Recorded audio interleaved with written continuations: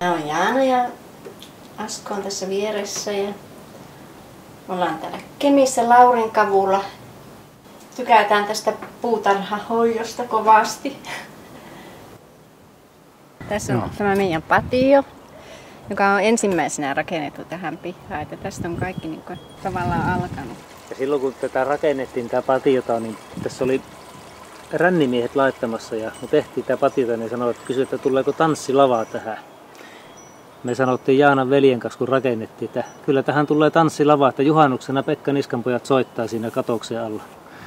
Silloin 2007 kesällä, kun talo oli valmis, niin ruvettiin tekemään näitä kivetyksiä ja se on pohjattu ja tehty ja sitä on 136 neliötä on tätä pientä kiveä ladottu tähän kesän, kesän aikana. Ja piha kun on tämmöinen jyrkkä, niin pihalle ei pääse millään, niin tien varressa oli kivilavat pitkän pätkän ja kaverit oli talakoissa aina kantamassa, kun me ladoin niitä kiviä paikalla. Tässä on näitä kivikkokasveja etupäässä melkein kaikki ja oikeastaan nämä on kaikki niin alkukesän kukkiota, mutta tämä oli niin ainut järkevä laittaa tähän, että tässä ei olisi kyllä nurmikko menestynyt, että sitä olisi ollut kyllä niin vaikea ajaa. Että Etelä seinusta on tässä ja tosi kuuma paikka, että ajuruohaa siinä nyt on. Sehän tykkää olla tämmöisessä kuivassa, kuumassa paikassa, että ei nurmikokkaa sinne tähän menestyä, kun on niin kuiva.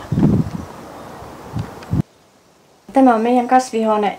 Meillä ei hirvetä määriä täällä ole kasvamassa, mutta tuota, jonkun verran kuitenkin tomaattia on kahdenlaista erilaista ja kurkkua on ja kovasti on tehnyt satoja. On pelarkuuniat on täällä ollut koko kesän. Ne on tykännyt olla täällä lämpimässä. Tämä säiliö on meidän vesisäiliö ja se on niin kuin meidän kastelujärjestelmän ydin, että sinne pumpataan vesi ja siellä on automaattinen kastelu systeemi näille kasveille, ettei tarvi aina olla kantamassa. Ja sitten jos lähtee reissuun, niin ne voi ihan huoletta jättää siihen, että kasvit saa jatkuvasti vettä.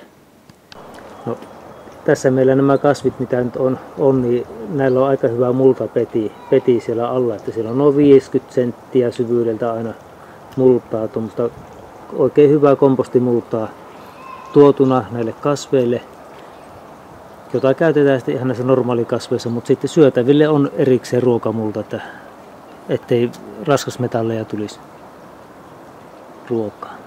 Meillä on nämä kohopenkki-istutukset ja, ja, ja ne on semmoiset minusta ainakin helppohoitoiset.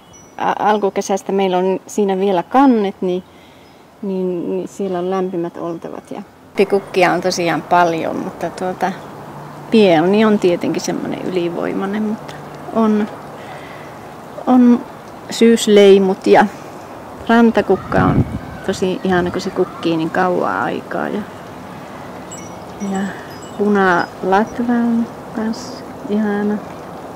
Niitä on oikeastaan aika paljon. Tuo harmaa malvakin vielä ihan kivassa kukassa.